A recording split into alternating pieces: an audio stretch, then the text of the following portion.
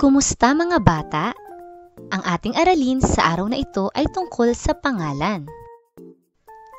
Ano nga ba ang pangalan? Ang pangalan ay tumutukoy sa ngalan ng tao, bagay, hayop, lugar at pangyayari.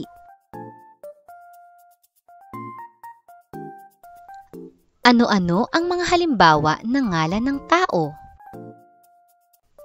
Guro Nanay. Pulis. Dalaga. Miko. Ano-ano ang mga halimbawa ng ngalan ng bagay? Lapis. Tasa Pinto. Sapatos. Bulaklak. Ano-ano ang mga halimbawa ng ngalan ng hayop? Ibon.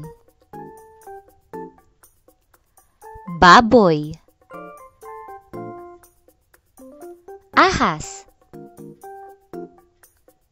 Kabayo. Baka.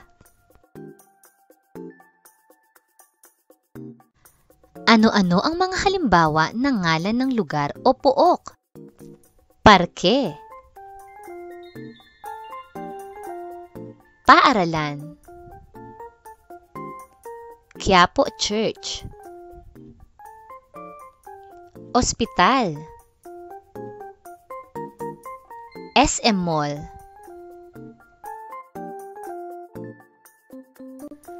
Ano-ano ang mga halimbawa ng ngalan ng pangyayari? Kaarawan.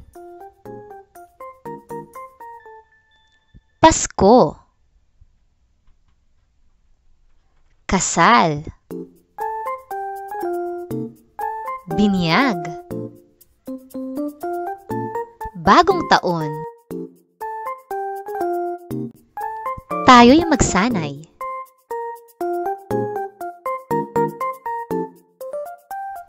Piliin ang tamang kategorya ng pangalan ng larawan.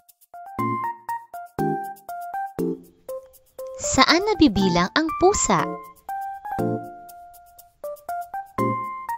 Tama, ang pusa ay hayop.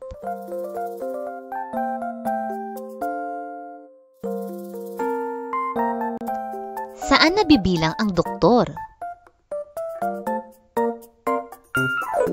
Magaling, ang doktor ay tao.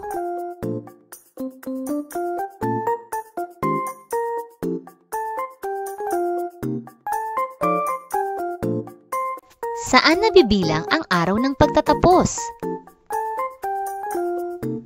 Mahusay, ang araw ng pagtatapos ay pangyayari.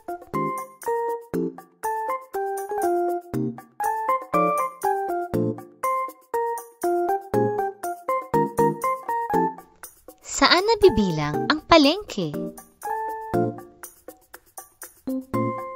Tama, ang palengke ay lugar.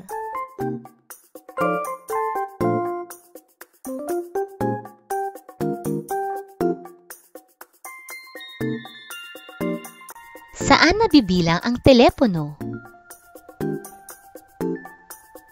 Magaling, ang telepono ay bagay.